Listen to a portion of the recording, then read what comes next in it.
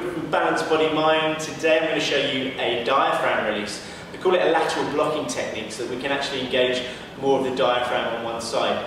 You might want to try this after you've had your diaphragm released, or you can see my diaphragm release um, uh, video on YouTube also. And you get Inga here to go into um, the, the lateral blocking position, keeping her backside pushing towards the rear, going to 2 or 3 o'clock because we're going to challenge the left side of the diaphragm um, to, to work a little better. But as I said, you'll probably want to release the diaphragm first before you go into that.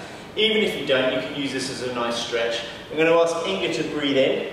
And here we can see the diaphragm pushing out and downwards, filling up the pelvic floor, um, and also challenging the other tissues here. So she's going to get a nice stretch on into the obliques as well. It works really well because you've blocked down the right side and you've stopped the right side of the diaphragm uh, functioning as well as it could do. You can apply this to both sides, but you may find that sometimes one side is, is more restricted than the other. Um, it's a really good uh, stretch as well as just a, an improvement for the diaphragm.